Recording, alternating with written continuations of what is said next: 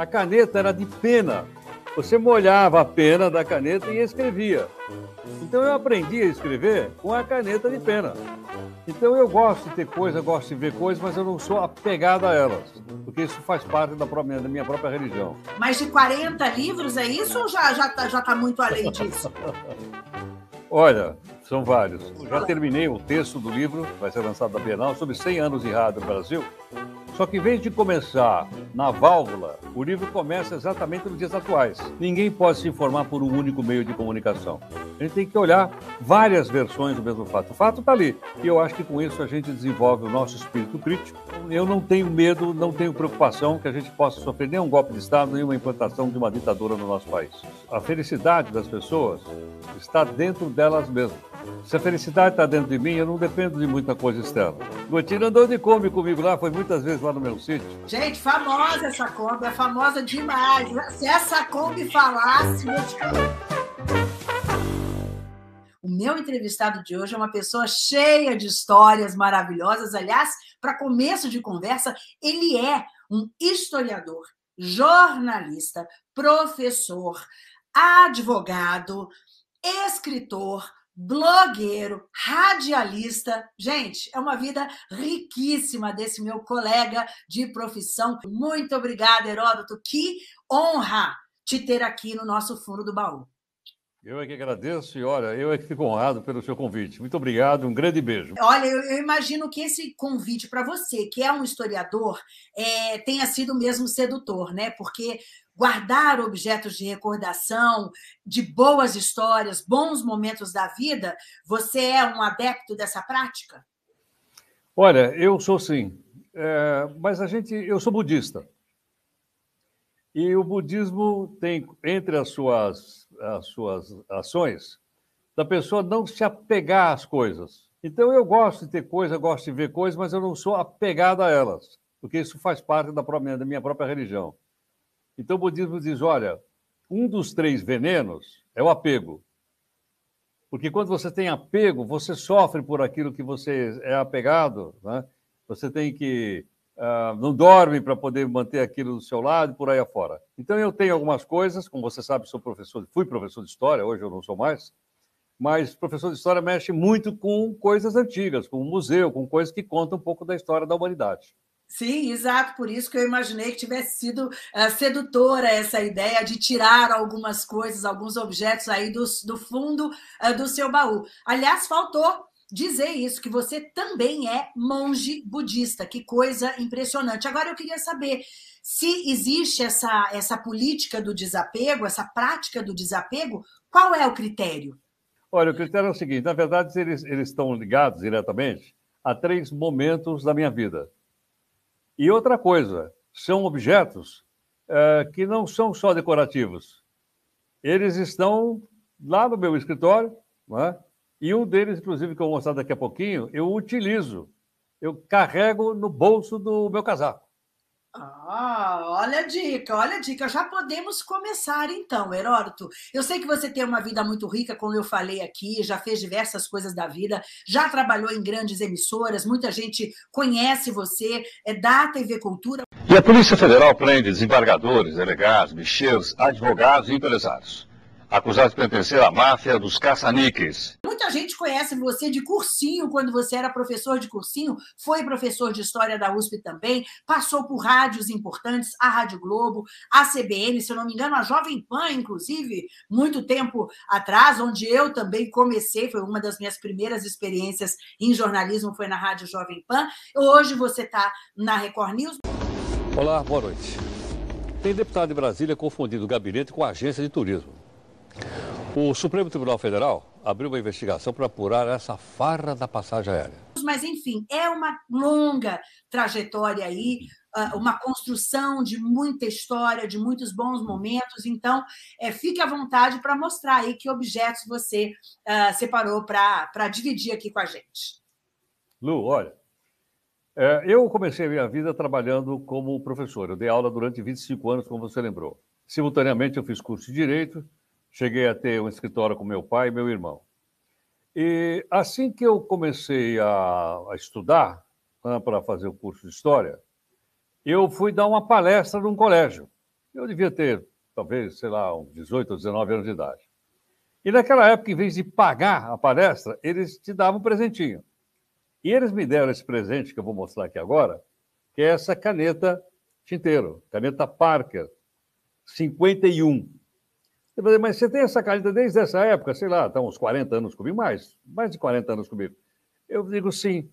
Mas essa caneta aí é uma caneta tinteira, não tem uma pena? Tem, tem uma pena, mas não gasta, gasta.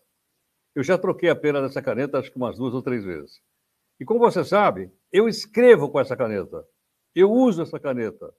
Ela vai comigo no bolso, para lá e para cá. E uma coisa curiosa é o seguinte: eu uso tinta de cor verde na caneta. Não que eu seja palmeirense, eu sou corintiano. Mas a tinta da caneta é verde. Então, ela me faz uh, lembrar desse período, né, que foi o período em que eu dava aula, e ela me acompanha, porque ela foi responsável por colocar no papel muitos dos meus pensamentos. É verdade que hoje a gente usa o computador, como nós estamos usando aqui agora. Mas você sabe que quando, por exemplo, alguém me pede um livro e eu faço uma dedicatória, eu faço com essa caneta, porque ela tem tinta verde. Né? O meu bloquinho de anotação é com essa tinta verde. Então, ela conta essa fase da minha vida, que foi a fase em que eu vivi, né, trabalhando, dando aula em vários lugares, como você já inclusive mencionou. E, e, e o verde é porque é para se diferenciar? Você queria uma coisa diferente do, do preto, do azul, até do vermelho? É, na verdade é o seguinte: quando eu comecei a estudar, para você ter uma ideia, as canetas esferográficas, que hoje é uma coisa que você ganha de brinde, na época era um negócio muito caro, muito caro. E eu sou de uma região bastante pobre da cidade de São Paulo, chamada Baixada do Glicério. Eu estudava numa escolinha lá embaixo, né? e a gente não comprava caneta esferográfica. A caneta era de pena. Você tinha um, tinha um, tinha um tinteirinho assim na, na, na carteira, você molhava a pena da caneta e escrevia. Então eu aprendi a escrever com a caneta de pena. Então, Incrível. ter uma caneta tinteiro, ainda mais dessa marca Parker, que acho que nem se fabrica mais isso, 51, foi uma coisa extremamente emocionante quando eu terminei lá a palestra no colégio e me deram essa caneta de presente. Então, como você vê, eu aprendi a escrever na caneta de pena. Hoje eu estou com 76 anos e continuo escrevendo na caneta de pena. Muito bacana, muito interessante. Acho que é um dos únicos, né? A Parker é uma, uma, marca muito famosa de caneta. Realmente não sei se eles continuam, até imagino que sim, porque é uma marca muito tradicional de, de, de canetas, né? Muito tradicional. Exatamente. Tem essa, Parker, tem essa Parker 51, que eu mostrei agora, e tem uma Parker 21. Eu cheguei até a ter, mas essa acho que eu, fui, eu comprei. Essa daqui não. É, essa daqui era mais é, sofisticada. E aí a gente vê a outra coisa, né, Heródoto, como ah, as coisas antigas duravam e duram ainda algumas delas, né? Uma caneta de mais de 40 anos está funcionando maravilhosamente bem. Troca ali uma pecinha, mas ela segue firme. Exatamente. E se você passar no shopping, por exemplo, você vai ver muita caneta tinteiro sendo vendida. Mas hoje elas são mais da marca Montblanc e custa um dinheirão que é uma marca muito famosa no mundo. Eu vejo poucas pessoas hoje usando caneta tinteiro. Né? Eu vejo muito poucas. Mas também, não só porque custa caro, mas também porque as pessoas precisam gostar disso. Né? É uma coisa que você precisa gostar, porque senão a gente. Eu uso também caneta esferográfica, é lógico, né? Sim, claro, sim. eu tenho aqui várias. Mas eu digo, você precisa gostar dela para você poder escrever com, vou dizer, com bastante alegria. Oi, tá curtindo o nosso papo? Já se inscreveu no canal? Então inscreva-se e aperta o sininho, assim o YouTube te avisa sempre que um novo convidado for abrir o baú de recordações pra gente. Maravilha, né? olha, ela te ajudou mesmo, te deu muita alegria, porque você, com essa caneta, como você acaba de nos contar, já essa caneta já te ajudou a escrever mais de 40 livros, é isso ou já já tá, já tá muito além disso? Olha, são vários. Eu vou, estou fazendo um livro juntamente com mais duas pessoas. Esse ano é comemorado 100 anos da primeira emissão de rádio no Brasil. Então, já terminei o texto do livro, que vai ser lançado da Bienal, sobre 100 anos de rádio no Brasil. Só que, em vez de começar na válvula e vir para os dias atuais, o livro começa exatamente nos dias atuais, na tecnologia mais moderna, o metaverso. Então, começa com o rádio no metaverso, aí ele vai para podcast, ele vai para a internet, vai por aí afora. E tem depoimentos muito interessantes no livro. Que legal, que interessante. Você já escreveu sobre uh, jornalismo, sobre rádio, esse não é o primeiro livro que você escreve sobre rádio, é, sobre história, obviamente, também várias é, publicações a esse respeito, momentos diferentes, enfim, enfoques diferentes aí da, da história do Brasil, do mundo. É, existe ainda algum gênero que você não tenha uh, tentado, não tenha escrito e que você pretende, tem essa vontade? Ficção? Bom, eu escreveu? É, eu, eu, tenho livros na área do budismo, como eu disse agora. Ah, também. E eu estou fazendo parte de uma coleção. É, é, no passado havia uma coleção de pequenos livros chamada Primeiros Passos, que eram pequenos livros para explicar as coisas. E uma editora de Portugal, a Almedina, ela está lançando uma coisa semelhante. Então, eu estou escrevendo um livro sobre budismo, é, é um livro didático, explicando o que é, que eu ainda não escrevi. Estou escrevendo para que seja publicado até o final do ano. Que bacana, maravilha, Heródoto. Ai, produção aí a mil por hora. Vamos partir para o segundo objeto? Vamos lá. O segundo objeto está ligado também a uma coisa interessante na minha vida, que é o seguinte. Eu sou proprietário de uma reserva ambiental. E eu me inspirei o dia que eu, a minha mulher, a Valquíria, e meus dois meninos, fomos fazer uma visita aqui em São Paulo e o gestor me deu esse. esse como é que eu vou te falar? É, ele é, um, ele é um cinzeiro. Eu não fumo, nunca fumei. Mas ele me deu de presente por causa desse leãozinho que tem aqui, ó. Vê se dá para ver o leãozinho. Está aqui o leãozinho. Olha. É do Simba Safari. Que não existe mais, uma pena. Exatamente. E quem me deu isso aqui foi o diretor, eu acho que ele se chamava Galvão, o cara que fundou o Simba Safari e dirigiu-se no safari. Então eu guardei isso aqui porque está ligado também à natureza, etc. E também porque durante a visita tivemos uma coisa curiosíssima. Você andava com o carro no meio dos leões, né, aqui no, no Simba Safari. E eles então colocavam também uma grade assim na janela do carro para as crianças não saírem. Mas meu filho encostou a cabeça ali na grade e veio um macaco e pulou na grade e segurou o cabelo dele, não soltava o cabelo dele. Gritaria. É, aí imagine só o susto que ele levou com o macaco segurando o cabelo. Então, é, essa, essa lembrança aqui, que é a lembrança do Simba Safari, né, está ligada a essa, essa pequena participação que eu tenho na área ambiental é, de, de animais.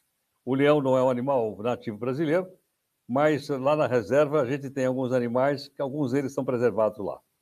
Que bacana. Qual é a área lá, Heródoto, e por que essa, essa vontade de ter uma reserva ambiental? Você não, não faz nada ali ou você planta espécies uh, específicas? É seguinte, a área toda ela tem 10 alqueires, 240 mil metros. Tá. E ela tem 40% tombada.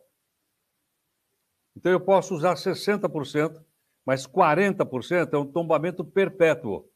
Eu posso vender, alguém pode comprar, mas aquela mata nunca mais ninguém vai poder tirar ela de lá. E a ideia surgiu o seguinte: de devolver um pouco para a natureza do tanto que ela me deu. Por esse motivo, então, na área tem esses dois pedaços que são reservados, e o demais tem casa, tem lago, tem barquinho, tem piscina, essas coisas todas. Que gostoso, né? E você é dono também muito famoso, um item que você tem que não dá para mostrar aqui no fundo do baú, não é bem um objeto, é uma Kombi. Você é famoso no meio dos jornalistas pela sua Kombi, que já levou muita gente para passear. Não sei nem se era nesse sítio, se chamavam de sítio, era isso mesmo? Eu nunca, nunca fui convidada, porque também nós não, éramos, nós não nos conhecíamos. Mas, enfim, eu sei que muita gente já participou dessa aventura aventura com você de ir na sua Kombi aí para o sítio e tal, né? Você era um divertimento seu, né? Olha, muitos colegas nossos, que você conhece bem, foram lá e passearam de Kombi. Eu vou citar só um deles, porque é meu amigo muito próximo. O Gotino, da Record. Gotino andou de Kombi comigo lá, foi muitas vezes lá no meu sítio. Né? Eu, é uma pessoa extraordinária, por, por quem eu tenho grande admiração. E outros, só estou citando o Gotino, mas há outros e outros que também conseguiram andar de Kombi comigo. Gente, famosa essa Kombi, é famosa demais. Se essa Kombi falasse, vou te contar o que já passou de gente ali. E o Botino já deu entrevista aqui pra gente no fundo do baú também. Quando eu tenho 15 anos, a minha irmã chega em casa e fala assim: Nossa, a Magda, amiga nossa, está trabalhando numa rádio. Já? Era uma amiga muito próxima. Eu falei, Nossa, está trabalhando no rádio, nossa, eu quero ir lá. Aí eu falei para ela: Deixa eu ir lá conhecer. Ela falou: Vamos lá. Ela me levou. Eu achei o máximo. Aí eu começo a ir à rádio, atender telefone final de semana. Ah, você quer ganhar prêmio? O que, que é? Ah, o seu nome, blá, e só vendo os caras fazendo, faço amizade com o pessoal. Um dia o locutor falta. E podemos ir para o próximo objeto. Tá, o próximo objeto está ligado ainda, também já faz muito tempo que eu tenho aqui comigo. É, está ligado à nossa profissão, minha e sua, jornalista, porque eu fui convidado para fazer um workshop fora do Brasil.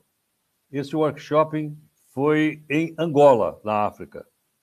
Eu fui a Luanda. E lá, depois da, do, do workshop, já faz muito tempo, eles me deram essa peça raríssima, que é de uma madeira, que, como você me lembrou agora há pouquinho, está ameaçada de extinção.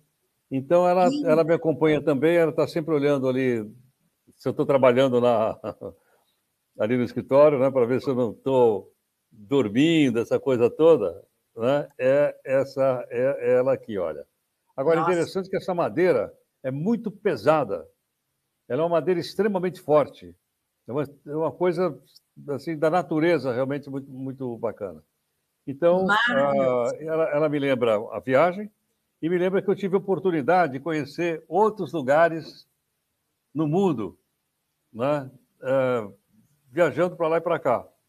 Talvez o mais exótico tenha sido Butão. O Butão, que tem tudo a ver com, com a sua religião, é, com uh, esse, uh, essa predisposição à felicidade, às coisas boas da vida. O Butão já foi considerado, não sei se ainda é, o país mais feliz do mundo. E como é que foi essa experiência de estar lá e vivenciar um pouco disso? Exatamente. Então, uh, quando você tem a oportunidade de viajar de um lado para o outro, né? Eu não compro objetos quando a minha viagem. a não ser que alguém me peça, ah, me traz um, um, um terço budista, eu trago. Ah, me traz uma figurinha lá do budismo, eu trago. Mas eu digo, eu mesmo não compro nada para mim. Então, quer dizer, receber uma coisa como essa, numa viagem, né, que eu fui dar um.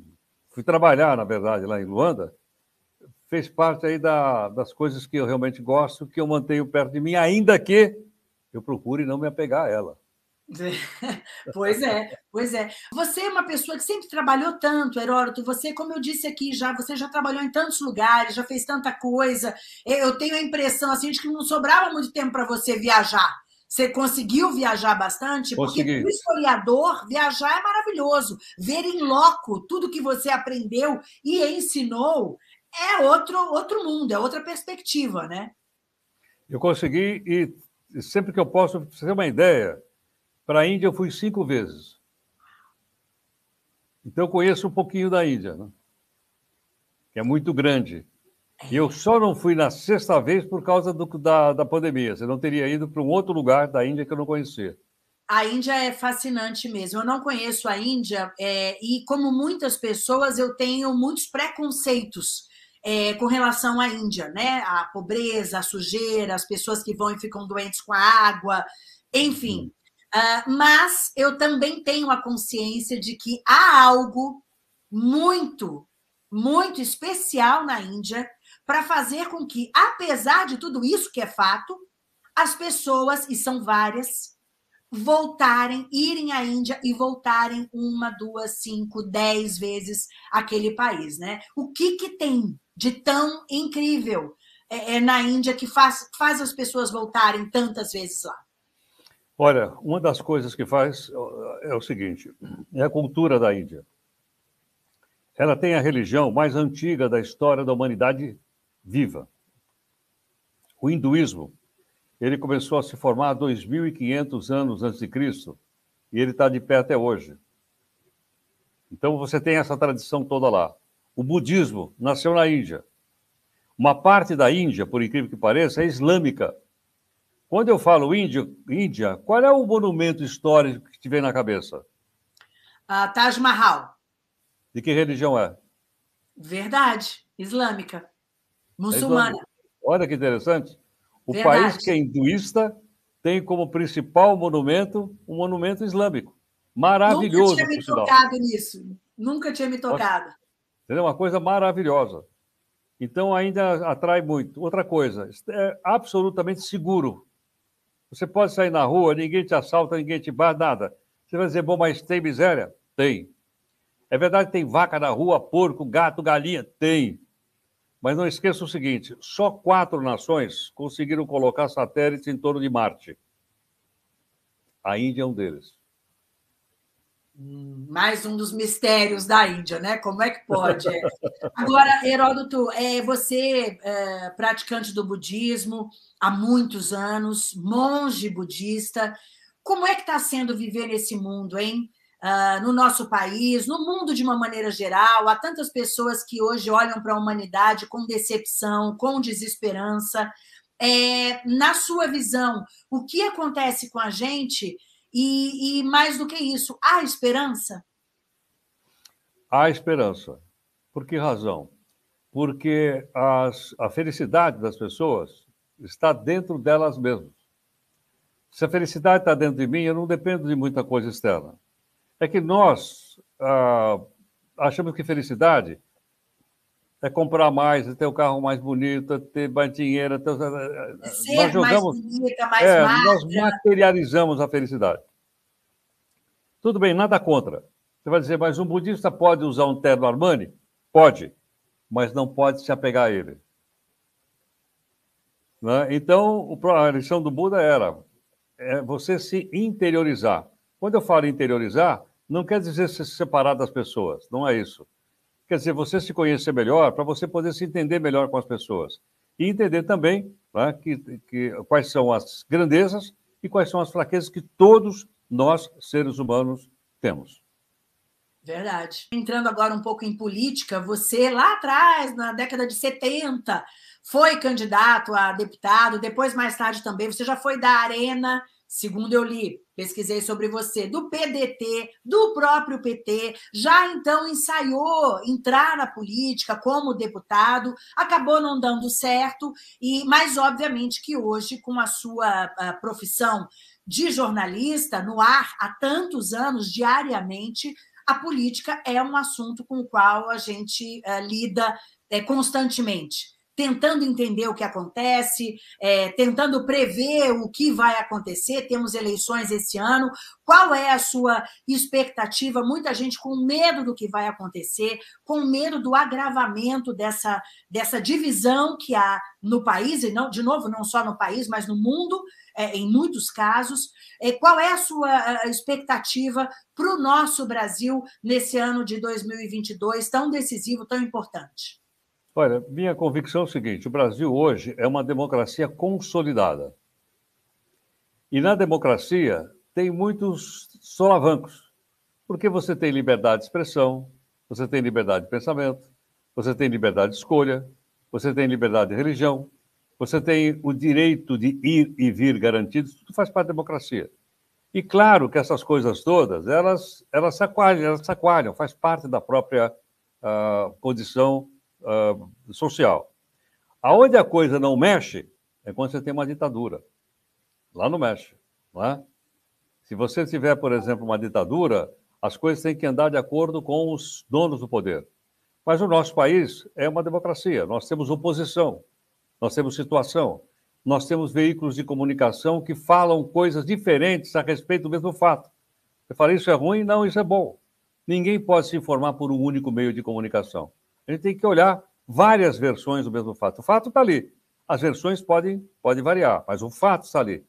E eu acho que com isso a gente desenvolve o nosso espírito crítico, nós, estou falando enquanto cidadãos, e aí a gente faz as escolhas que a gente acha que são melhores para a gente e para o nosso país com o seu conhecimento histórico e é, é, político, você acredita que é possível, é, é, é, plausível essa ideia de que há uma ameaça de, uma, de um golpe e de uma ditadura? É, é plausível nessa, nessa democracia que nós temos, que alguns dizem que é uma democracia é, frágil, porque recente. você acha que é, é, é possível que esse chacoalhão leve a gente para um outro lado de uma ditadura, por exemplo, cabe numa sociedade grande como a nossa, diversa como a nossa, uma ditadura? Cola isso? Dura isso? Olha, eu acho que isso não é mais possível. Isso já pertenceu ao passado. Quando a gente estuda um pouquinho a história do Brasil, especialmente do período do Vargas para cá, a gente vê o seguinte, que houve uma participação sempre muito ativa das Forças Armadas na política. O próprio Vargas deu um golpe de Estado em 37 e implantou uma ditadura, com apoio dos militares. Em 45, Vargas foi derrubado pelos militares. O Dutra era general.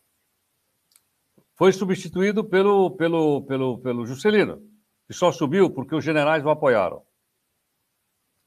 O Jânio quase renunciou e os militares não queriam que o Jango assumisse, o João Goulart. O João Goulart foi, foi derrubado pelos militares. Começa um período militar no Brasil que vai, então, de 64 até 85. Mas depois disso, o Brasil mudou muito. A sociedade brasileira amadureceu bastante. Então, é verdade, você tem razão, nós somos uma, uma democracia muito jovem. Ela é de 1988 para cá. Não, não é como a, a, americana, né? que é de 1776, está certo ou não? Ela é muito jovem a nossa. Então, algumas coisas que podem deixar as pessoas preocupadas é porque nossa democracia é muito jovem. Mas eu acredito que nós já amadurecemos o suficiente para entender que o melhor sistema é o democrático. E acho que não, eu não tenho medo, não tenho preocupação que a gente possa sofrer nenhum golpe de Estado, nenhuma implantação de uma ditadura no nosso país. Eu acho que nós vamos seguir na democracia, ganhe quem ganhar a eleição. Maravilha. Maravilha, tomara, né? Tomara. É isso aí, tomara que isso de fato aconteça. Olha, é... o que mais você acha, o que de mais importante você acha que a gente tem que guardar nesse nosso baú de recordações? O que que a gente leva dessa vida, né, Heródoto? O que que, o que, que a gente tem que prezar eh, mais do que tudo durante essa nossa passagem por aqui? Vou falar do budismo de novo. É a gente viver o tempo presente. Não viver no passado e não viver no futuro. Não é? É. É, o trem do passado já foi, não dá para pegar mais. Você sabe que teve uma. uma... Eu estava conversando, coincidentemente, com colegas é, recentemente, falando sobre, e, um, e uma delas, psicóloga, falou sobre essa questão de um estudo que teria justamente visto isso, a importância de você prestar atenção no momento, isso relacionado à felicidade. E, inclusive, esse estudo é, levou em consideração a, o nível de felicidade de pessoas praticantes da meditação, que é justamente o que? O meditar é você se concentrar ali naquele momento, não pensar em nada nem antes nem depois, é aqui, é agora. E re, esse estudo teria comprovado a, a, um, um, grau maior de felicidade nessas pessoas praticantes de uh, meditação, justamente por essa questão de elas estarem focadas no agora. Essa, Olha, isso que você está falando acho método, que é comprovação científica, portanto. Sim, esse, eu conheço até um, um professor da universidade, David Wilson, que estuda sobre isso. Chama-se Mindfulness. O método se chama Mindfulness, veio do budismo, que é uma meditação de atenção plena, plena do presente. Ou seja, a gente viveu um momento como eu estou agora com você aqui conversando, não é? estou pensando nas coisas que passaram nem o que vai acontecer daqui a pouco. Mas estou aqui, vamos dizer assim, ah, nessa conversa descontraída e muito simpática com você. Então, isso é viver o tempo presente, o momento presente. Sem estar preocupado se daqui a pouquinho eu vou ter que entrar no jornal ou não. já, já deu a dica. O Heródoto já tinha me contado. Tem, tem, participa né, do jornal da Record News e também é, do programa Conexão, não é isso? Também na isso. Record News, né?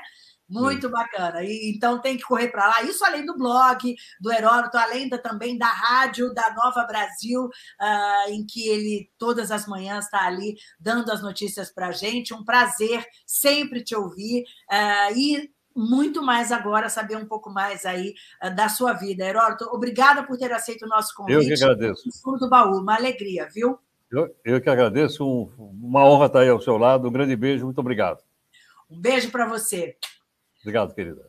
Gente, que maravilha, que legal, né? Quanta história. O Heródoto é uma figura assim no, no jornalismo muito admirada, porque é uma pessoa sábia, né? sabe de história, sabe de religião, uh, sabe de política, sabe de jornalismo, de comunicação, enfim, uma pessoa que tem muito a dizer e eu fico muito feliz mesmo de ter podido dividir aqui essa conversa com todos vocês. Gostou? Deixa o like, compartilha, olha quanta coisa bacana, quanta mensagem interessante para a gente compartilhar aí com os nossos amigos, familiares. Então, compartilha. E se por um acaso você é novo aqui, inscreva-se no canal. Eu te espero no próximo Fundo do Baú.